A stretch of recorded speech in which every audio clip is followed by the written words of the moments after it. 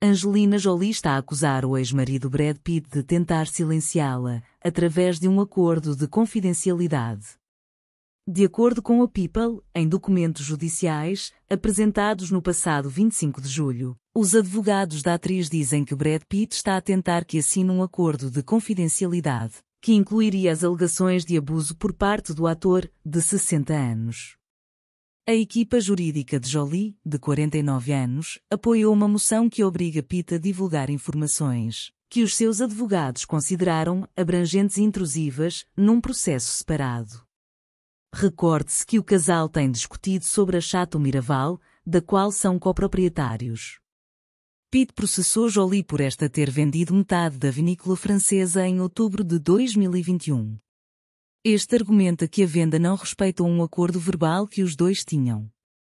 Recentemente, o advogado de Angelina Jolie referiu que a atriz quer que Brad Pitt pare de lutar e desista do seu processo judicial no que diz respeito à propriedade.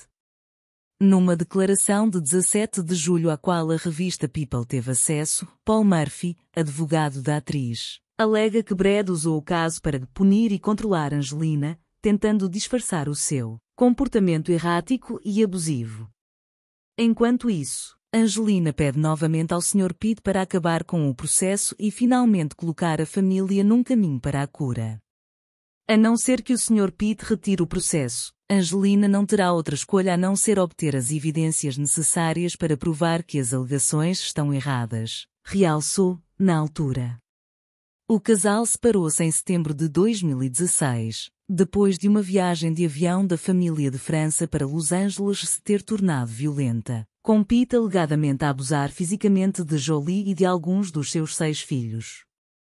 Recentemente, Jolie alegou em documentos judiciais que os abusos começaram muito antes dessa viagem, mas sempre foram dirigidos apenas à atriz.